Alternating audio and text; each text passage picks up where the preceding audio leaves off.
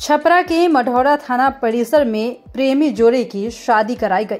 दोनों ओल्हनपुर पंचायत के रहने वाले हैं। घर से भागे हुए दोनों प्रेमी प्रेमिका परिजनों के दबाव में घर लौट आए, जिसकी थाने में शादी रचाई गई। दरअसल दोनों एक ही पंचायत के दो गाँव से है और दोनों एक दूसरे से प्रेम करते थे। दोनों ने एक साथ जीने मरने की कस्में खाकर घर छोड़ दी थी और फरार हो गए थे।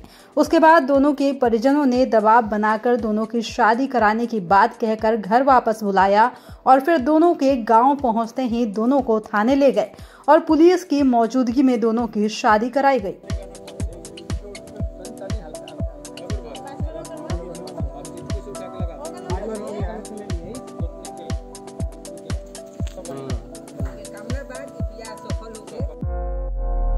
जुरो दीक्षांत से पाव छुटकारा कोचिंग इंस्टीट्यूट से। गूगल प्ले स्टोर से दीक्षांत ऐप डाउनलोड कर अपने स्टडी को बनाओ आसान और मज़ेदार। दीक्षांत देता है topic wise video with animated visuals and concept wise study material